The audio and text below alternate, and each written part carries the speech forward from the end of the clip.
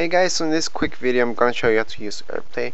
So basically to get into it, you do have to have an Apple TV or something to use AirPlay with uh, for your iPhone so you can see your iPhone just on your Apple TV or your iMac if you do have the program to see your um, iPhone. This is how to do it. Anyways, uh, you just have to double tap on your home button so that's down here, the round button, to just double tap on it and you might see some apps down here. However if you have everything closed you won't see anything like this. So just scroll to your right side. So this is the first thing that you will see.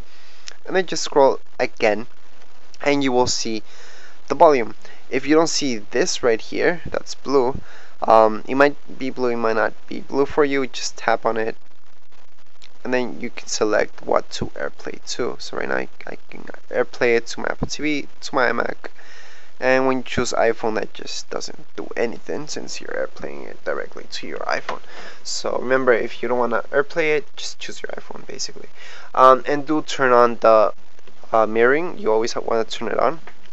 And that's the reason why you're airplaying it to see whatever you're looking at in your iPhone on your Apple TV so if you want to watch free movies for example on your Apple TV and you don't have Netflix you can go to video.com or Justin TV and just airplay that from your iPhone.